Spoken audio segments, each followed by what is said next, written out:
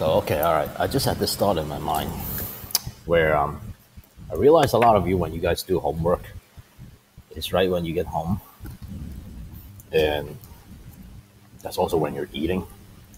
So if you're doing that, I might as well just turn this into like call this dinner with Mr. Ng, all right? Because that's what that's what this turns into. You're you're you're eating, I'm eating. Okay, all right. So tonight's homework is going to be. Now let me open this first. It's take a while. All right, let me take a swig of my favorite morning beverage.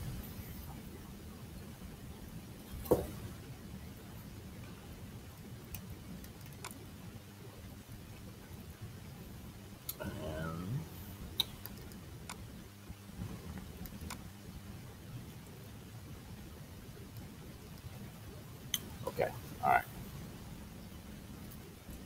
Well, tonight, tonight's homework is homework number 31, right?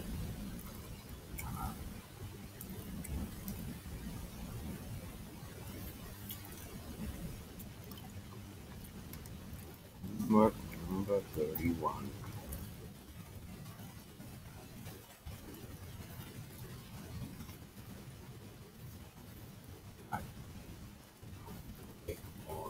Orange text. Oh, gonna be subtraction. So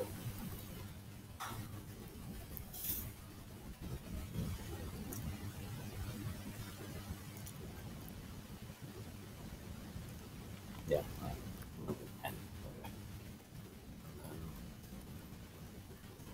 There's video. Right. Required, by the way. So let's see. The thing still hasn't been up yet. Okay. So okay, I'm just gonna take a bite of that. Case.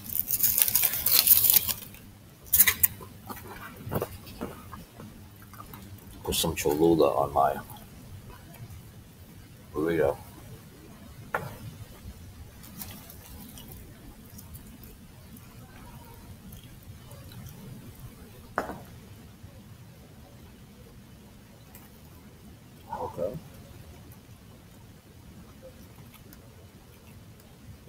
Now, um, for number one there, okay, open your open your textbook right now. Don't just watch me eat.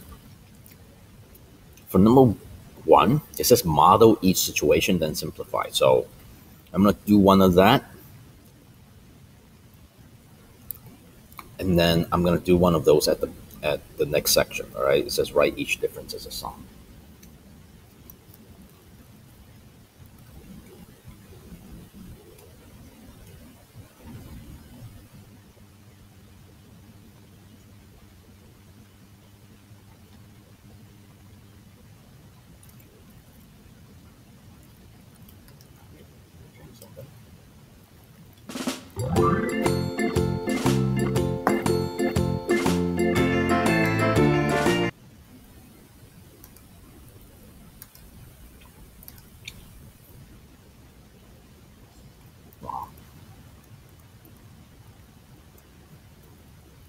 All right, finally.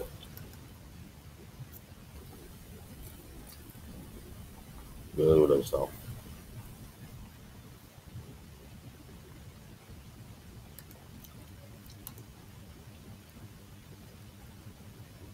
Okay. All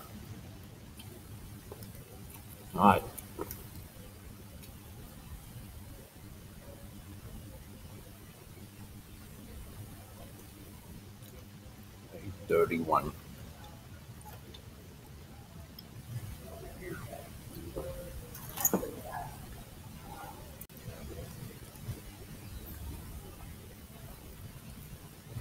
Wow. Also, okay. It's thirty-one.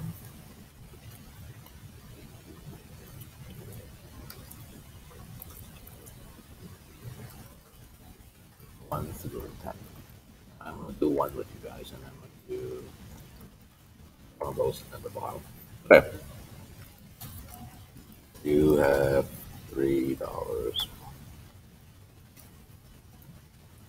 You owe. Okay, so real quick, right? Now there's two ways. There are two ways I'm going to do this. Okay, just so that we can be a little bit more consistent. So you have three bucks, so that's three dollars positive. Now I'm going to use green for that, right? And then you owe ten bucks, which is what? Right, negative ten dollars, right? So I'm going to use red, okay? Because that's what the color people usually use. Now I'm going to do two ways. One is the number line.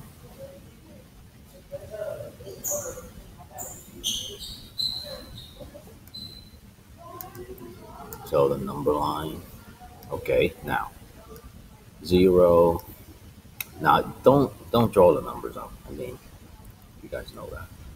So I'm going to use green and red as arrows. So you went from zero to three, right? That's positive three. And then you went 10 down. So where do you think you end up? I mean, we've watched these videos like over and over and over, over and over and over. Right? Okay, good. Dotted lines. Where is that? Yeah, negative seven. All right. So that's one way to do it. The other way to do is do the counters. Remember the counters? Now it was yellow and red. So let's say I have three yellow ones here. I don't know if you guys can see this, but it's okay. And then 10 red ones. Now what I'm going to do is I'm going to do something even more speedy. Uh, make one of these. Fill it out with a red color. Alright. And then watch the magic happen.